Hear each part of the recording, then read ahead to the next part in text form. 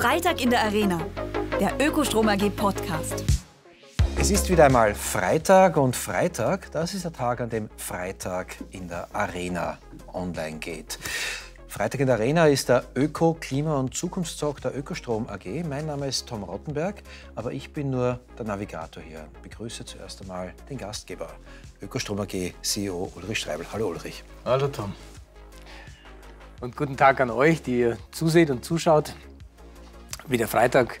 Es geht, wie der Tom sagt, wieder um Zukunft, um Klima, um Nachhaltigkeit. Es geht eigentlich um unsere Lebensgrundlagen, um unsere Welt.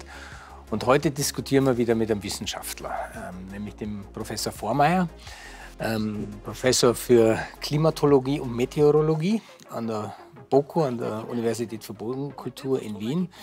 Willkommen, Herr Professor Vormeier. Also mein Name ist Herbert Vormeier, ich bin Professor für Meteorologie und Klimatologie auf der Universität für Bodenkultur in Wien. Ich beschäftige mich äh, mit den Auswirkungen des Klimawandels, speziell in Gebirgsregionen, aber auch weltweit. Herbert Vormeier, Meteorologe und Klimatologe. Äh, ich bin Wetterbenutzer, begrüße Sie auch ganz herzlich hier in der Wiener Arena. Ähm, Wetter und Klima ist ja etwas, was sehr viele Menschen noch immer durcheinander bringen. Da gibt es dann immer diese Frage, ist es noch ein Wetter oder ist es schon ein Klima? Und wenn es mal kurz regnet, sagen alle, wer redet von Dürre? Ähm, ist die Welt so einfach? Nein, also die, die Unterscheidung zwischen Wetter und Klima ist schon für den, für den Alltag gar nicht so einfach, weil, weil das immer vermischt wird. Äh, aus wissenschaftlicher Sicht ist das, äh, das Wetter sozusagen das aktuelle Ereignis, äh, die Witterung, der Ablauf, äh, äh, wie, er, wie er stattfindet, von aktuellen Situation bis einige Tage in die Zukunft. Und das Klima ist sozusagen die, die Statistik darüber, üblicherweise definiert über 30 Jahre die mittleren Zustände des, äh, der Temperatur, des Jahresgangs der Temperatur, des Niederschlags. Äh, und das sind natürlich auch äh, wichtige Faktoren, die die Vegetation prägen. Und also im, im, holistischen Sinne ist natürlich das Klima nicht nur die physikalische Zustand der Atmosphäre, sondern auch die Wechselwirkung mit der Biosphäre, weil eben ein, ein typisches mittlerer Zustand der, der Witterung dann auch definiert, welche Vegetation ist einer Region äh, überhaupt möglich, was kann dort wachsen, äh, wie interagieren die Ökosysteme. Das wird über dieses Klima äh, definiert und das ist natürlich eine, eine wesentlich längerfristige Betrachtung, äh, weil eben die Reaktion der Ökosysteme über einige Jahrzehnte äh, hinweg läuft. Das heißt also, die mittleren Verhältnisse der Witterung über Jahrzehnte definiert dann letztlich das Klima. Und die subjektive Wahrnehmung ist trotzdem alles, was im Vorjahr war, verändert sich schon in meiner Erinnerung. Und deswegen ist es ja auch so schwierig, diesen Klimawandel, die Klimaänderung auch den Menschen zu kommunizieren, denke ich mir. Nein, das, das ist extrem schwierig, weil die, auch die Klimaänderung, die wir jetzt erleben, die vom Menschen verursachte Klimaänderung, die sehr rasch geht, äh, ist noch immer gering im Vergleich zu den Schwankungen, die wir von Tag zu Tag im Wetter haben können oder auch die Schwankungen von Jahr zu Jahr, die wir erleben. Nur ein Beispiel, wir gehen jetzt davon aus, wenn wir keinen Klimaschutz betreiben, dass wir ungefähr 4, 5 Grad Erwärmung in den nächsten 100 Jahren erleben. Also das heißt pro Dekade, pro Jahrzehnt eine Erwärmung von einem halben Grad. Der Unterschied zwischen einem kalten und einem warmen äh, äh Jänner zum Beispiel kann 9 Grad ausmachen. Das heißt, äh, das ist eine Größenordnung höher. Das heißt, was wir gefühlt erleben, ist immer die, die Variabilität des Wetters. Und, und wir haben keinen Sensor für, das, für die, die klimatischen Veränderungen, die so langsam laufen. Ist nicht genau das das Problem, Ulrich? Wir haben keinen Sensor für die Variabilität des Klimas, aber nur fürs Wetter? Möglicherweise ist das das, ähm, das, Thema oder die Frage, und deswegen haben wir Herrn Professor Vormeier ja auch da, weil wir wollten gerne verstehen von Ihnen und in der Diskussion ähm, auch unseren Zuschauern und, und, Zuhörern nahebringen, was ändert sich denn jetzt? Weil wir reden alle vom Klimawandel und es ist vielen von uns bekannt, wir haben jetzt in der Welt, glaube ich, 1,1 Grad, 1,2, ich glaube, da kann man ein bisschen drüber streiten. Aber für Österreich heißt es ja dann, weil wir Binnenlage sind, doppelt so viel.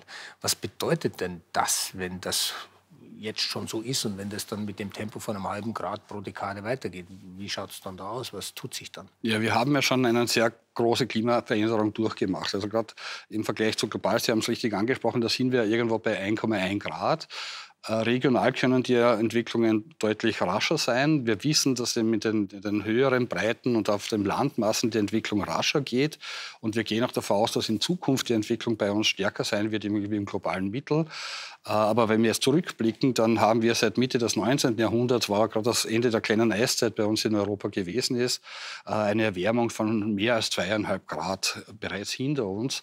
Und das ist etwas, was wo wir jetzt schon an die Grenzen der ökologischen Systeme kommen. Das ist die zweieinhalb Grad, das ist ungefähr das, was wir an Schwankungsbreite zwischen einem kalten und einem Jahr, äh, warmen Jahr haben. Das sind auch äh, eben äh, Veränderungen, die unsere Ökosysteme gewohnt sind und an denen sie angepasst sind und mit denen müssen sie umgehen. Aber jetzt erreichen wir gerade die Grenze äh, von diesem, was die Ökosysteme aushalten können. Und das ist sicher auch eines der großen Probleme. Ein Beispiel dafür zum Beispiel sind die, die Fichtenwälder in den Tieflagen. Da sehen wir, äh, das ist lange gut gegangen. Über, über äh, Jahrhunderte hat man sozusagen hier in, in Lagen äh, unter 1000 Metern Fichten angepflanzt, weil sie eben sehr günstig äh, zum, für, die, für, die, für die Holzwirtschaft sind. Äh, und jetzt hat man einfach, ist das Temperaturniveau einfach so hoch, dass hier durch, durch Schädlingsbefall mit Borkenkäfer äh, eigentlich hier die, die, die Fichtenbestände nicht, nicht zu halten sind. Also da hat man jetzt schon ein, ein, ein System erreicht, eine Systemgrenze erreicht, die wirklich für alle sichtbar wird. Also das heißt, Fichten gibt es nicht mehr? In Tieflagen und in den Trockenregionen, wo sie auch nicht hingehören, äh, dort äh, ist äh, sicher äh, deren Zeit vorbei. Und da setzt man auch jetzt sehr stark auf, auf eben Mischwälder, auf andere Baumarten. Aber wir sehen eben auch, dass eben äh, durch die Erwärmung äh, jetzt die Regionen, wo die Fichten üblicherweise gut hingehören, nämlich in den Mittelgebirgslagen um 1000 Metern, dass jetzt dort die Probleme mit dem Borkenkäfer auch hinkommen, wie wir sie früher nur in den Tieflagen gesehen haben. Hier verschieben sich sozusagen die, die Lagen mit der Seehöhe. Das ist ja auch etwas, was man im Gebirge gut kennt. Wir haben ungefähr eine Temperaturabnahme von äh, 6 Grad pro 1000 Metern. Wir haben jetzt schon eine, eine Temperaturerwärmung von, von zweieinhalb Grad. Also das heißt, wir haben schon eine, eine Verschiebung der mittleren thermischen Verhältnisse von 400 Metern äh, hinter uns. Äh, und das sieht man ja auch überall. Was das konkret heißt, hat mir, ich bin ja ein absoluter Laie, mal jemand vom Alpenverein erklärt. Er sagt, wenn der Permafrost, der die Berggipfel zusammenhält, also entschuldigen Sie meine laienhafte Formulierung, wenn der weicher wird, dann rutschen uns die Berge langsam ab, dann kann man Berghütten nicht mehr betreiben. Das heißt, äh, es hat dann auch sehr direkte Auswirkungen auf uns Menschen, sei es, weil wir keine Waldwirtschaft betreiben können oder weil uns irgendwie die Berge davonfahren, wir nicht mehr wandern gehen können. Gerade angesprochen, im, im Hochgebirge gibt es massive Veränderungen. Permafrost äh, von Ihnen angesprochen. Das ist so der Kit äh, von können sogar ganze Hänge, große Hänge ins, ins, ins zum Wandern beginnen. Äh, wir sehen auch bei den Gletschern den massiven Rückgang und auch dort, wo die Gletscher, Gletscher weggehen, äh, beginnt, äh, beginnen die, die, die Felswände äh, zu bröckeln, weil die auf einmal äh, die Temperaturschwankungen ausgesetzt sind. Und natürlich sind auch viele im Hochgebirge viele Wanderwege und Kletterwege über Gletscher oder eben über Wege, die derzeit äh, dann gar nicht mehr begehbar sind, sei es, weil der Gletscher weg ist und auf einmal hier ein tiefer Graben ist, oder sei es, weil die Steinschlaggefahr so groß ist, dass man die Wege einfach nicht mehr begehen kann. Da kann man halt nicht mehr wandern gehen. Dann wachsen halt die Fichten weiter oben. Da haben wir halt am Großglockner oben ein paar Fichten. Äh, macht dir so etwas Angst, wenn du das hörst? Oder macht dich das betroffen? Oder sind das halt Dinge, mit denen man halt umgehen muss, mit denen wir leben werden müssen? Ich würde die Frage wahrscheinlich an Herrn Professor weitergeben. Weil die Frage ist, wo geht es denn hin? Also jetzt ist es gefühlt ja so, dass die meisten Menschen sagen, naja, passt schon eh, so schlimm ist es nicht. Also wir leben hier noch gut.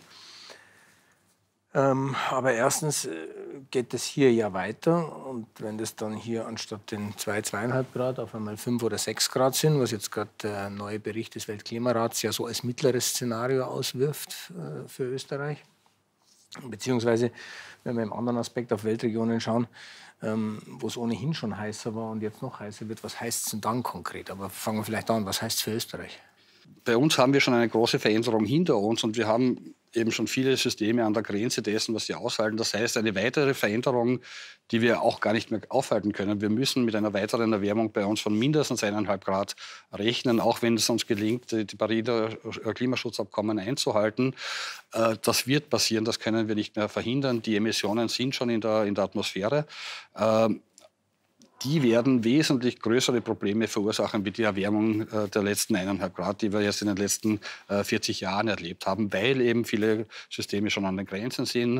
Äh, aktuell sieht man es am, am Neusiedlersee, das war ein Steppensee, der immer wieder ausgetrocknet ist, aber die Wasserabnahme durch die erhöhte Verdunstung ist äh, inzwischen schon so schnell, dass eben das wesentlich häufiger passieren wird. Äh, es kommen verschiedenste Ökosysteme, aber auch natürliche, also äh, sozioökonomische Systeme ähm, in Bedrängnis. Es wird zwar immer das, das Problem mit dem Skifahren und dem Schnee angesprochen, aber ich glaube, das sind eigentlich kleine Probleme. Äh, ein massives Problem ist die Hitzebelastung in Städten. Und da ist es auch natürlich ein soziales Problem, weil die Hauptbelastung mit Hitze hat man üblicherweise in den schlecht gedämmten äh, Wohnungen, wenn man vielleicht in einem äh, Haus wohnt, wo man knapp äh, im, im, im, obersten Stockwerk, wo das Dach nicht isoliert ist, da hat man dann wirklich Probleme, weil man dann bei, bei Tagen mit über 35 Grad es in der Wohnung einfach nicht mehr aushält. Und, und ähm, da, äh, da kommen wirklich die großen Probleme her. Und es gibt ja auch Berechnungen von der, von der AGES für Österreich, wo in diesen heißen Jahren, mit den heißen Sommern wie 2015 und 2017, äh, in Österreich mehr Hitzetote gegeben hat wie Verkehrstote. Also da, da sind wirklich die Probleme. Und äh, eigentlich ist bei uns überfällig eine Hitzewelle mit, mit deutlich über 40 Grad, gut 42 Grad. Also das wird in den wenn das nächste Mal im Sommer äh, die, die, die Wetterlage passt, dann werden wir das erreichen. Und dann werden wir sehen, welche, äh, wie gut unsere Städte wirklich mit Hitze umgehen können. Also da geht es dann wirklich ans Eingemachte. Ähm, also das sind, glaube ich, aus meiner Sicht Probleme. Und was sich auch bei uns in vielen Regionen von Österreich kommen wird, ist die Wasserverfügbarkeit wird problematisch werden. Äh, und da sind wir überhaupt nicht gewohnt. Also Österreich sitzt ja direkt auf dem Wasser, schaut von Europa, kann man sagen, mit den Alpen. Und unser Umgang mit Wasser ist vollkommen unbekümmert. Wir genießen es und nutzen es, ohne groß zu denken. Äh, und das wird ein großes Umdenken notwendig sein, dass Wasser ein hochwertvolles Gut ist und auf das wir auch aufpassen müssen. Das ist sicher etwas, was man erst lernen müssen in Österreich. Da spricht der Wissenschaftler. Äh eigentlich sehr nüchtern. Äh, jeder Satz, den Sie gesagt haben, müsste doch eigentlich jeden Menschen zum Aufspringen, Losrennen und Ändern der Gegebenheiten führen. Äh, warum bleiben Sie persönlich da so ruhig dabei? Erstens beschäftige ich mich mit dem Thema schon seit 30 Jahren beruflich. Also insofern bin ich es gewohnt, dass äh, was wir von der Wissenschaft sagen, nicht sofort zu Reaktionen führt. Also, und es gibt natürlich auch gute Gründe, warum nichts passiert, weil wir brauchen wirklich eine tiefgreifende Transformation der Gesellschaft. Äh, wir brauchen eine Transformation der, der, äh, der Energiesysteme. Wir brauchen eine Dekarbonisierung, also den vollständigen Verzicht auf fossile Energie.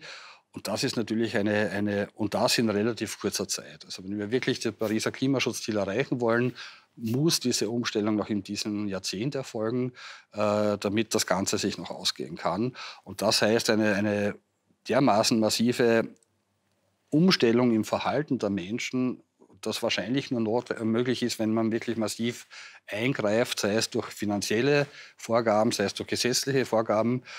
Äh, und das ist natürlich ein, ein, ein, ein Riesenvorhaben und wo bisher die Politik noch sehr stark zurückschreckt, wirklich die Schritte einzuleiten.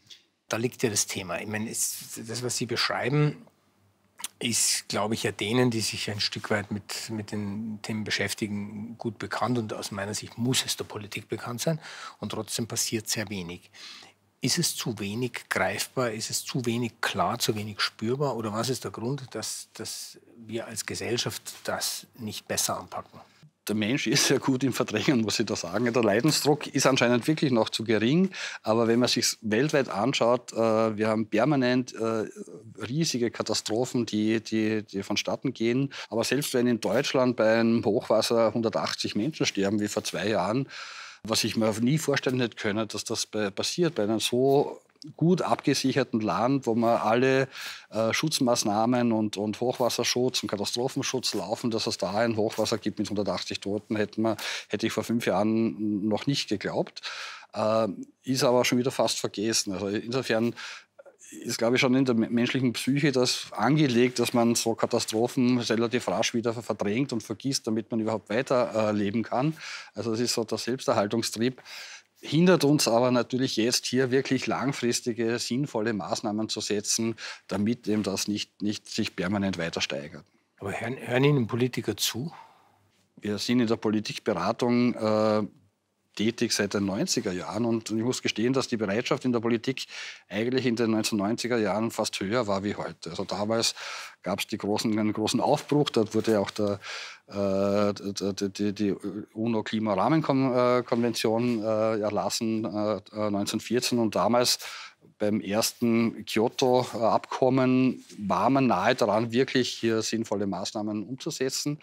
Äh, und dann hat natürlich irgendwie ein Gegenwind eingesetzt. Also es ist ähm, es geht eben darum, die fossile Energie nicht mehr zu nutzen. Und das ist natürlich ein Geschäftsfeld, in dem sehr große Player unterwegs sind, in dem sehr viel Geld vorhanden ist und in dem sehr viel Einfluss auf die Politik, sei es über Geld, sei es über äh, äh, Arbeitsplätze äh, und, und, und Wirtschaftssicherheit äh, hier sehr viel Druck aufgebaut werden kann.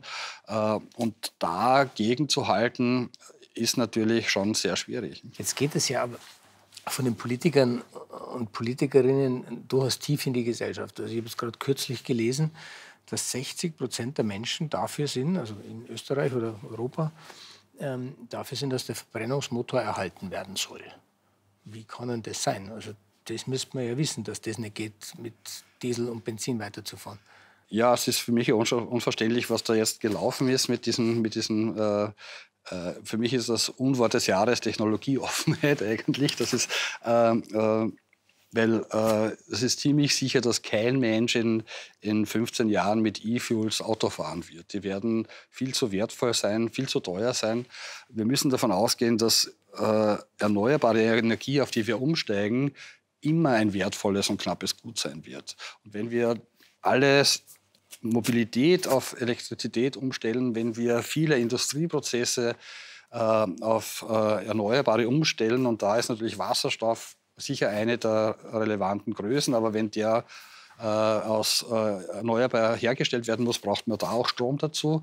Also es geht sehr viel, äh, dass man, es wird sehr viel Energie für diese Umstellungsprozesse gebraucht werden.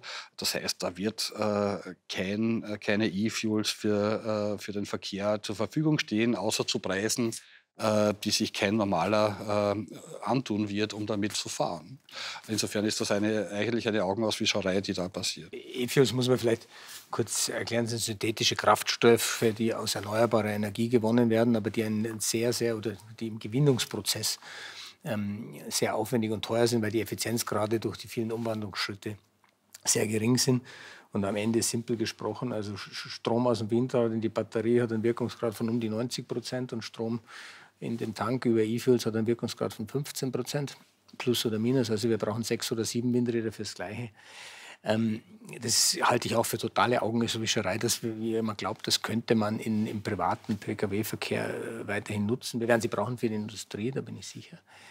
Ähm, aber ich glaube, es so verstanden zu haben, dass diese 60 Prozent der Menschen, die sagen, wir wollen den Verbrenner erhalten, gar nicht an E-Fuels denken, sondern denken, das geht eh einfach so weiter. Ich fahre an die Tankstelle und da tue ich Benzin und Diesel rein und es geht eh. Oder habe ich da eine falsche Einschätzung? Ich glaube, die meisten Menschen haben einfach auch Angst, äh, äh, einerseits vor der Umstellung und sie haben Angst, dass, dass sozusagen das Mobilitätsverhalten, das sie jetzt haben, äh, nicht mehr gehen wird. Und das ist auch richtig so. Wenn wir wirklich was ja viele Politiker immer noch behaupten, dass sie ernsthaft wollen, 2040 klimaneutral sein, äh, sein wollen, dann brauchen wir eine ganz andere Art von Mobilität bis 2040. Das heißt, das muss der Großteil äh, der Mobilität muss mit öffentlichen Verkehrsmitteln laufen. Es geht gar nicht darum, dass wir die Autos äh, von Benzin auf, auf, auf, auf elektrisch umstellen, sondern wir müssen grundsätzlich weniger Energie für Mobilität äh, verwenden. Und da ist natürlich, wenn, wenn eine oder, oder im Mittel, glaube ich, 1,5 Personen in einem Auto sitzen, das 1500 Kilo hat, äh, ist das hoch ineffizient. Äh, und äh, es wird eben äh, Erneuerbare Energie wird ein wertvolles Gut sein und das kann sich die Gesellschaft nicht mehr leisten, so viel für Mobilität auszugeben. Das heißt, wir müssen hier die Strukturen ändern. Das heißt, die erzwungenen Wege von zu Hause in die Arbeit müssen kürzer werden. Die müssen mit öffentlichen Verkehrsmitteln möglich sein oder eben ähm, durch zu Fuß gehen oder Radfahren weil eben die, die Distanzen in, äh, äh, dafür geeignet sind. Das heißt, auch natürlich die Art, wie wir wohnen, äh, muss anders sein. Also wir brauchen eine, eine Umstellung hier. Gerade Österreich ist ja da der Versiegelungsweltmeister, zumindest in Europa. Europameister sind wir auf jeden Fall, weil wir alle so gerne in den Einfamilienhäusern auf der grünen Wiese wohnen. Und das ist natürlich energetisch äh, wirklich ein Wahnsinn, weil die, die Häuser selbst viel, viel Material benötigen, üblicherweise weniger energieeffizient sind wie Mehrparteienhäuser und dann noch äh, die Straßen gebaut werden müssen, Kanalisation gebaut werden muss und ich dann noch ein Auto brauche, um irgendwo hinzukommen. Also das ist ein Gesellschaft, die Gesellschaft wird sich das einfach nicht mehr leisten können. Ich verstehe inhaltlich, unterschreibe inhaltlich alles, was Sie sagen. Ähm, Sie haben als Wissenschaftler den großen Vorteil, dass Sie an den Grundfesten der österreichischen oder der europäischen Identität äh, und Selbstbilder kratzen dürfen, ohne Angst zu haben, äh, nicht wiedergewählt zu werden. Ein Politiker, der so etwas sagt, der äh, schafft es nicht einmal in den Gemeinderat mehr. Ja, aber ich habe ja immer auch schon die Angst gehabt, dass die Politik gar nicht in der Lage ist, gegenüber der Wirtschaft Maßnahmen zu setzen, dass die, äh, die nicht gewollt sind. Äh, das mit, mit dem Gewähltwerden ist natürlich auch noch so eine Sache. Da bin ich voll bei Ihnen. Das geht auch darum, dass wir zuerst die Menschen davon überzeugen, dass das notwendig ist. Und darum muss auch der Druck aus der Bevölkerung auf die Politik kommen, diese Maßnahmen zu setzen. Und das muss aber auch richtig kommuniziert werden. Ich war dann überrascht, wie Corona gekommen ist und wir auf einmal doch äh, der Staat schon in der Lage war, Maßnahmen zu setzen, die ich vorher nicht mehr gedacht habe. Ich kann mich erinnern, in der Hochphase im, im März 2020 oder was vielleicht schon April, ähm, da hat es einmal Ausgangssperren bei uns gegeben und ich habe einmal bis kurz nach acht gearbeitet in, im Büro und bin dann nach Hause gefahren und ab acht war Ausgangssperre in Wien. Äh, und da habe ich gedacht, Igitt, was jetzt habe ich übersehen, dass ich die Ausgangssperre, äh, dass man da sowas erlebt, hätte ich äh, nicht gedacht und, und da hat man aber gesehen, die Politik, wenn sie es ernst meint, wenn es notwendig ist, kann sie schon agieren, hat sie Handlungsfähigkeit und man hat auch gesehen, wie sie argumentiert und, und kommuniziert, wenn es wichtig ist. Und wenn man es vergleicht, wie in der Hochphase äh, bei Corona äh, die Politik kommuniziert hat und wie sie jetzt beim Klimawandel kommuniziert, weiß man, warum nichts weitergeht. Weil sie selbst ja nicht wirklich ernst nehmen. Und das ist, glaube ich, das Problem, das wir speziell auch bei uns in Österreich haben. Ähm, die, gewisse Hoffnung habe ich auch in der EU. Da gibt es noch ganz klar den, den, den, das Vorhaben, an, an dem Green Deal festzuhalten. Und die EU-Taxonomie setzt jetzt auch massiv äh, sozusagen äh, im Finanzsektor an, dass sich hier auch äh, was ändert und da werden die Geldflüsse verändert. Also das wird auch relativ rasch äh, in der breiten Bevölkerung ankommen, dass da wirklich auch was in Bewegung ist. Ähm, aber was mir fehlt, ist von der, Kommunik von der Politik die, die ehrliche Kommunikation, was gemacht werden muss, wenn wir wirklich äh, klimaneutral werden wollen, wie gesagt wird. Weil dann müssen wir jetzt wirklich sehr, sehr schnell in die Gänge kommen. Und hier müssen Maßnahmen gesetzt werden, die sicher nicht für alle angenehm sind. Aber da geht es eben genau darum, dass wir auch eben von der, von der Wissenschaft die Informationen bereitstellen. Warum ist das notwendig? Warum? Und was gewinnt man auch damit? Das ist ja nicht so, dass dass wir einen derartig tollen Lebensstil führen, dass alle happy sind. Wir haben das Problem, dass jetzt inzwischen nicht mehr so schlimm, aber für einige Menschen keine Arbeit haben, viele Menschen von der Arbeit überfordert sind. Wir haben massive Probleme, äh, genug Zeit zu haben und auch unsere gesellschaftlichen äh, Interaktionen, zwischenmenschlichen Interaktionen äh, kommen eigentlich viel zu kurz.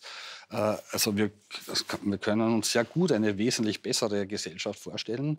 Und gerade diese Transformation hin zu einer nachhaltigen Nutzung äh, ähm, der Energie, zu einem äh, nachhaltigen Lebensstil, führt ja in vielen anderen Bereichen auch zu einer Verbesserung. Wir hatten unlängst hier äh, eine Journalistin sitzen, die Klimajournalistin ist. Die hat gesagt, jedes Thema ist ein Klimathema, jede Geschichte, jede journalistische ist eine Klimageschichte. Das fällt mir jetzt gerade ein, weil äh, ich habe nicht das Gefühl, jetzt einen Klimaforscher vor mir sitzen zu haben, weil Sie reden über gesellschaftlichen Wandel, Sie reden über Wohnbau, Sie reden über Wirtschaft.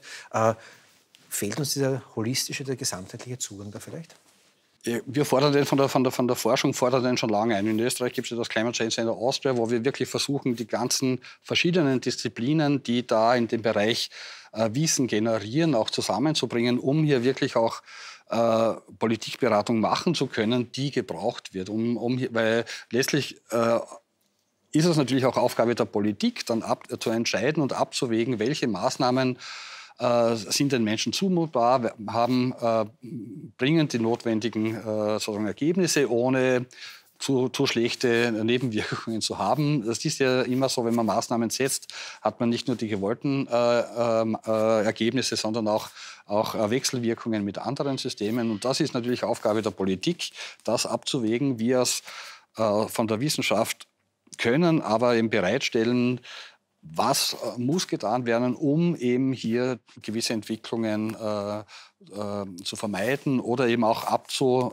abzuschätzen oder zu modellieren, äh, was passiert, wenn wir diese und diese Maßnahmen setzen oder auch nicht setzen. Und, und das ist das, wo wir Input liefern können. Die Entscheidung muss natürlich dann die Politik treffen, um hier auch dem, ähm, äh, die Akzeptanz in der Bevölkerung sicherzustellen. Wenn ich jetzt den Gedanken aufgreife, weil an sich würde ich ja davon ausgehen, dass Politikerinnen und Politiker führen und bei dem Thema, wie gehen wir mit Klimawandel um, vorausgehen beobachten kann ich das nicht. Ähm, wir haben eine Partei, die wird von fast 30 Prozent der Menschen gewählt, die leugnet den Klimawandel. Wir haben eine andere, die ist irgendwie jetzt ein Anhängsel der Wirtschaftskammer geworden, die gegen den äh, Klimaschutz arbeitet. Und dann haben wir noch eine größere Partei, die hat überhaupt kein Klimaschutzprogramm. Also da bin ich jetzt nicht sehr zuversichtlich, dass aus der Politik heraus dieser Impuls kommt. Müssten wir nicht eher bei den Menschen ansetzen, dass die die Politiker austauschen und die PolitikerInnen. Ähm, aber das würden sie ja nur tun, wenn sie es verstehen. Kann es sein, dass die Menschen nicht genug verstehen, was da auf uns eigentlich zukommt? Das würde ich nicht teilen, weil ich habe das Gefühl, dass viele in der, in, der, in der Bevölkerung wesentlich weiter sind wie die Politik. Also es gibt sehr viele engagierte Menschen in den verschiedensten Bereichen, die, denen sehr klar ist, was läuft und wo auch sehr klar gefordert wird. Es gibt natürlich auch einen Teil, der ignorant ist und, und nicht darauf reagiert. Und äh, momentan scheint der, der letztere, sozusagen noch der größere Teil zu sein, auf den dann sozusagen äh, spekuliert wird. In Österreich haben wir momentan eine sehr eigenartige Entwicklung, wo, wo von mir zumindest vor, wenn man die Parteien anschaut, sie, sie versuchen ihre, ihre Kernklientel zu bedienen und ein bisschen, ein bisschen dann im rechten Lager zu fischen. Alles andere ist wurscht. Äh, äh, und das finde ich, find ich sehr, äh, sehr schade. Da habe ich wirklich mehr Hoffnung auf der EU-Ebene, dass da schneller was passiert. Aber ich glaube, es ist ganz wichtig und das ist ja auch grundsätzlich, wir sind in einem, Gott sei Dank, in einem demokratischen System. Das heißt, Politiker müssen darauf schauen, dass sie wiedergewählt werden. Also das heißt, sie werden, haben immer ein Auge auf die, auf die, auf die Mehrheiten. Und das heißt auch der Auftrag an uns, an die Forschung, diese Notwendigkeit der Transformation in der breiten Bevölkerung mehrheitsfähig zu machen. Also das hat, wir haben den Auftrag hier, das läuft unter der Bezeichnung Third Mission auf, der, auf den Unis, nach außen zu gehen, den Menschen klarzumachen, äh, worum es eigentlich geht, äh, was sind die notwendigen Schritte, die notwendig sind und was passiert, wenn wir sie nicht setzen. Und da müssen wir noch effizienter und, und, und, und treffsicherer werden. Ich glaube, das ist etwas, was äh, und das ist auch die Art, wie man kommuniziert, äh, hochwichtig. Und äh, wir haben ein Problem, wir haben teilweise halt sehr dramatische äh, Bilder vor uns, was, was passieren wird durch den Klimawandel. Äh, das hat aber oft bei Menschen dann den, die Auswirkung, dass sie den, den, Kopf in den Sand stecken und sagen, okay, das möchte, möchte ich nicht mehr hören, interessiert mich nicht, äh, wir können eh nichts dagegen tun. Also wenn, wenn man zu stark die, die Probleme betont, kann das Fatalismus auslösen. Äh, und darum ist es auch wichtig, dass man letztlich zeigt, also diese, diese Transformation hin zu einem nachhaltigen Lebensstil und zu einer äh, wirklichen äh, Dekarbonisierung äh, hat ja sehr viele zusätzliche Vorteile. Und ich glaube, was ganz wichtig ist, dass wir auch Beispiele setzen und, und, zeigen, dass eben diese Transformation möglich ist und man keine Angst davor haben muss, damit die Menschen dann anfangen, darauf einzusteigen. Und da denke ich, da brauchen wir auf jeden Fall die Bevölkerung dabei und die muss dann letztlich Druck auf die Politik machen äh, und, und, letztlich muss in jeder Partei äh, das Thema Klimawandel verankert werden. Das darf kein parteipolitisches Thema eigentlich sein. Ich möchte zum Schluss jetzt noch auf ein globaleres Thema oder einen globaleren Aspekt äh, der, der, des Klimawandels kommen. Wenn es bei uns 1, 2, 3, 4 Grad wärmer wird, heißt es ja nicht, dass es anderswo gleich bleibt, sondern da wird es in anderen Regionen der Welt auch dementsprechend wärmer. Äh, was heißt denn das, wenn es bei uns 3 Grad wärmer ist in Österreich ähm, auf Kontinenten, in Regionen, wo es jetzt schon fast unlebbar heiß ist? Was passiert, was passiert dann? Natürlich, wir haben über die, über die Auswirkungen bei uns äh, kurz gesprochen in Österreich, aber Österreich ist natürlich äh, ist in, in, den, in, mittleren Breiten, wir haben ein Gebirgsland, da ist es für, bei vielen, vielen Sachen sogar ein Vorteil, wenn es wärmer wird, weil gerade beim Pflanzenwachstum äh, teilweise noch immer Temperaturlimitierung herrscht, da, da hat sogar teilweise Vorteile.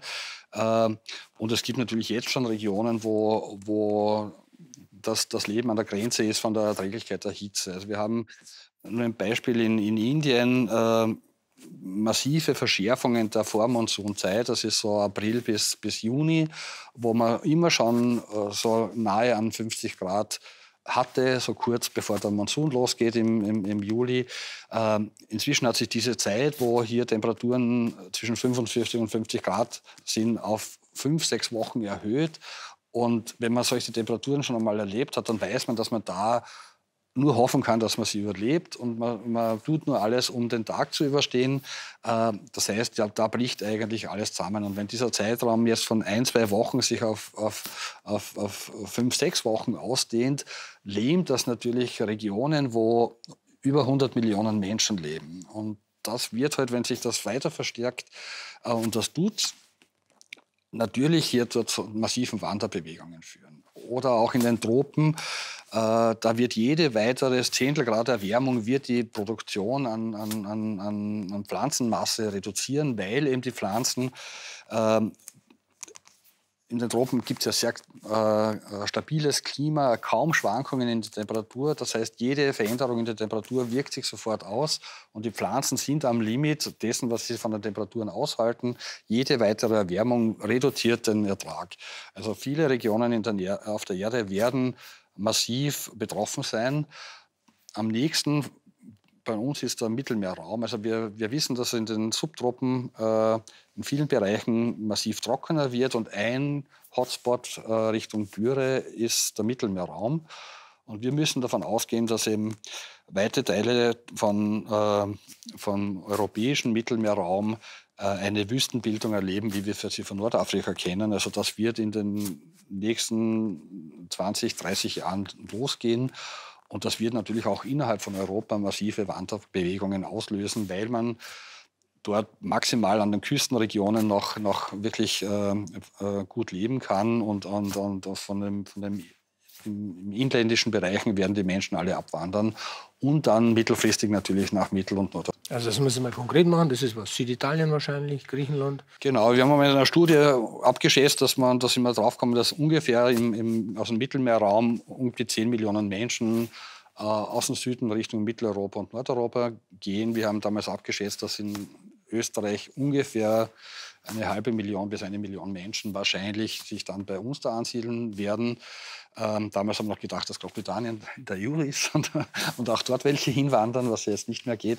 Also irgendwo die Größenordnung werden wir rechnen müssen. Das wird natürlich nicht so auf einen Schlag sein, sondern das wird so sukzessive über mehrere Jahre verteilt. Dann wird einmal wieder Pause sein, dann ist wieder eine Hitzewelle oder Trockenheit, dann kommen wieder mehr. Das wird so schwallartig gehen. Aber letztlich wird es ja eine Umverlagerung innerhalb von Europa geben.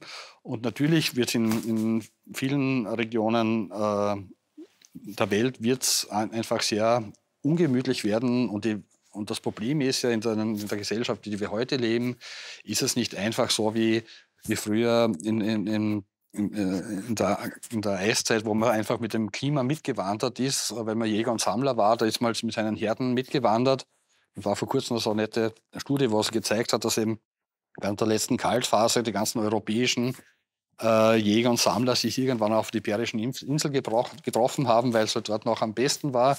Ähm, das können wir heute nicht mehr. Ne? Das ist also, also, wir haben Staaten, wir haben Grenzen, äh, wir haben Militärbündnisse und ich kann mich nur innerhalb dieser äh, Grenzen bewegen. Und das wird halt natürlich Konflikte auslösen. Wenn die Menschen sich lokal nicht mehr ernähren können, nicht mehr arbeiten können, werden sie weggehen und das löst natürlich Konflikte aus. Ulrich, das ist der absolute Horror, was der Herr Professor Forchmeier uns gerade erzählt. Jetzt äh, haben wir ja schon viele Folgen auch dieses Podcasts gemacht und beschäftigen uns ja auch viel mit diesem Thema. Also mir ist das nicht ganz unbekannt. Ähm, und ich sehe es viel näher und konkreter, so wie es der Professor Vormeier beschreibt. Und finde es durchaus bedrohlich, ja. Das ist so. Mit einer Dystopie aufzuhören, ist für mich immer ein bisschen frustrierend. Darum meine Frage, meine letzte Frage an Sie. Sind Sie trotzdem Optimist? Und wenn ja, warum? Ein Optimist, also es, es gab auch beim letzten IPCC-Bericht ist das gesagt worden und auch ganz klar beim 1,5 Grad-Bericht vom Jahr 2018. Also wir haben alle Technologien äh, sind vorhanden. Äh, wir brauchen keine neuen Erfindungen zu machen, um alle Maßnahmen, die notwendig sind, äh, um hier diese Dekarbonisierung einzuleiten. Das liegt allein in unseren Händen. Das heißt, das ist einfach kein technisches Problem, es ist kein wissenschaftliches Problem. Die Fragen sind gelöst. Wir müssen nur diese Technologien in die Breite bringen. Es geht darum, unser Wirtschaftssystem so zu modifizieren. Für mich als Naturwissenschaftler gibt es eine sehr einfache Lösung, indem man einfach die äh, die Kosten, die, die, die Schäden, die die Verbrennung von fossilen Energie äh, äh, verursacht, in den Preis hineinrechnet. Das ist ein, eines der großen Probleme, das wir haben, dass wir hier wirklich die Kosten äh, externalisiert worden sind äh, bei der fossilen Energie. Wenn wir die wieder hineinrechnen, dann werden die so, so teuer werden, dass äh, hier sehr schnell äh, die ganze Gesellschaft auf erneuerbare Energie umschwitzt. Also es wäre auch relativ der Hebel einfach. Das Problem ist sozusagen ein, ein, gesellschaftspolitisches und kein naturwissenschaftlich. Leider, sonst hätten wir es schon gelöst. Die Frage war trotzdem ein bisschen anders, nämlich glauben Sie daran, dass wir diese Kurve noch kratzen werden? Beim 1,5 Grad Ziel bin ich nicht einmal mehr sicher, ob ich es erreichen will, weil wenn wir das wollen, dann müssten wir so viel äh, Geoengineering machen, damit wir dorthin kommen. 2 Grad Ziel, glaube ich, können wir noch schaffen. Äh, es kann auch sehr schnell äh, äh, switchen. Wir kennen auch gesellschaftliche Kipppunkte, technologische Kipppunkte. Ich glaube, wenn wir jetzt anfangen damit, dann werden sehr, kann das auch eine sehr massive Eigendynamik bekommen, weil die Menschen sehen, dass es was bringt, dass es eigentlich gar nicht so schlimm ist, dass es vielleicht sogar viel angenehmer ist, wie bisher gedacht. Äh, und wenn diese Dynamik entsteht, dann kann das wirklich alles sehr schnell gehen. Die letzte Frage an den Klimatologen und Meteorologen Herbert Vormeier ist eine ganz individuell jetzt nicht von Ihnen, sondern für jeden und jede. Wir bitten unsere Gäste immer, äh, einen Tipp am Freitag abzugeben. Eine Maßnahme, die jeder und jede setzen kann, die vielleicht klein wirkt, aber in Summe dann doch einen Impact hat. Was wäre denn Ihr Tipp am Freitag, Herr Professor? Der Ökostrom AG-Tipp am Freitag. Das werde ich öfter gefragt und das sage ich auch selbst, wenn ich äh, in Volksschulen das sage, ist, dass das Wichtigste ist, dass wir den gesellschaftlichen Druck auf die Politik äh, so erhöhen, dass hier wirklich endlich Maßnahmen gesetzt werden. Für viele Maßnahmen, damit die wirklich greifen, braucht es gesetzliche Vorgaben. Und damit äh, die Politik reagiert, können wir in demokratischen Systemen, müssen wir Mehrheiten erreichen. Und das Wichtigste ist, in seinem Umfeld hier ähm, politischen Druck aufzubauen, gar nicht parteipolitisch, sondern es muss in jede Partei, muss das Thema Klimawandel äh, angegangen werden, ein Thema sein und man muss einfordern, dass hier sinnvoll agiert wird und dieser Druck muss aus der Bevölkerung kommen, damit die Politik auch wirklich agieren kann. Herbert Vormeier, vielen herzlichen Dank äh, für Aussagen, die eigentlich niemand hören wollte, aber das liegt nicht an Ihnen, sondern das liegt einfach am Inhalt der Aussagen. Die letzte Frage in diesem Pod- und Videocast geht immer an den Gastgeber. Ulrich, was nimmst du denn aus diesem Gespräch mit Professor Vormeier mit? Ich fand sehr beeindruckend, wie der Herr Professor Vormeier das Thema Klimawandel mit gesellschaftlichen Prozessen verbunden hat und so ein gesamtheitliches Bild aufgezeigt hat. Und wir dann zu dem Punkt irgendwann gekommen sind, dass zumindest ich frustriert war, dass nichts vorwärts geht. Aber tatsächlich bin ich auch der Meinung, dass wir als Menschheit das bewältigen werden weil es eh keinen anderen Weg gibt. Und tatsächlich ist der Weg, den wir Menschen gehen müssen, gesellschaftlichen Druck aufzubauen, da stimme ich nämlich völlig zu. Und unsere Politikerinnen und Politiker dahin bewegen, dass sie das tun, was jetzt notwendig ist, oder uns schlicht und einfach andere wählen. Dann sage ich Ihnen, euch beiden, vielen herzlichen Dank für dieses Gespräch und bedanke mich bei euch, dass ihr auch diesmal bei Freitag in der Arena wieder mit dabei wart. Servus, danke, ciao und baba.